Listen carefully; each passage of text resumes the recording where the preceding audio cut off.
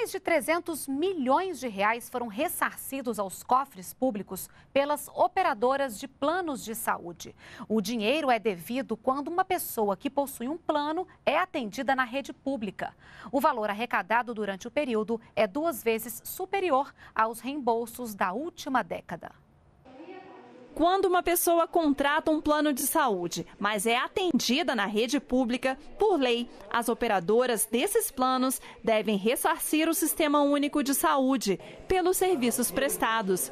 E o governo federal bateu recorde na arrecadação dos recursos devidos pelos planos. Entre 2011 e 2013, o Ministério da Saúde recolheu, em cobranças feitas pela Agência Nacional de Saúde Suplementar, às empresas do setor privado, cerca de 322 milhões de reais. Este valor arrecadado é duas vezes superior ao reembolso da última década, quando somaram 125 milhões de reais. Somente no ano passado foram 167 milhões de reais ressarcidos ao SUS. Houve melhorias dos sistemas de informática que são importantes nesse, nessa identificação e nessa cobrança, agiliza, agiliza o processo. É, e a melhoria, como eu falei, do cadastro da agência e do cadastro, inclusive, do, do, do, do SUS. Né?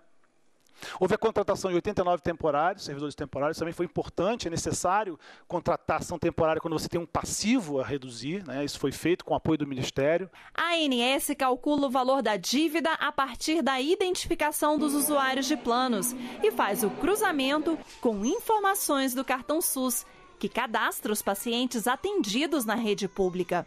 A expansão do cartão SUS contribuiu para mostrar quais procedimentos devem ser ressarcidos.